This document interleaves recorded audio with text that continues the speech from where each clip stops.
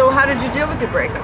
Did you do anything crazy? Just hanging out with friends and just keeping busy, I guess. A good remedy for a breakup for me was to basically move into my parents for two weeks Oh, after wow. my boyfriend broke up with me. I don't know, it feels like going back into the womb a little bit. Wow. Uh, maybe some booze, you know, helps out. It's good to look back to think what you have done wrong, but it's not good to blame yourself.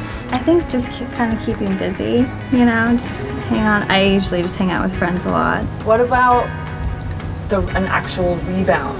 It's a natural instinct to just kind of jump into something to kind of fulfill that void, Yeah. but it doesn't necessarily fulfill you in a way that you want it to.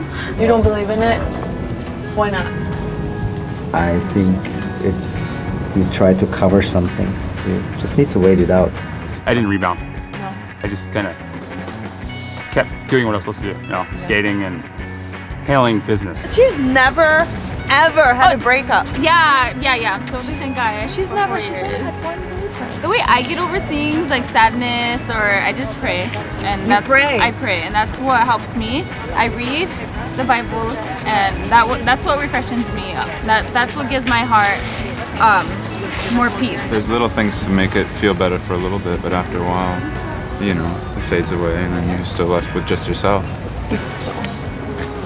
Broke up on, uh, I think it was Friday. It sucks. Yeah. You know, when you're a single mom with two children, you have to restructure your life. It changes. I knew that I was smart, and then I would see these idiot that I, idiots that I was working for, and I just decided, you know what, I can be a lawyer, and that's what I did.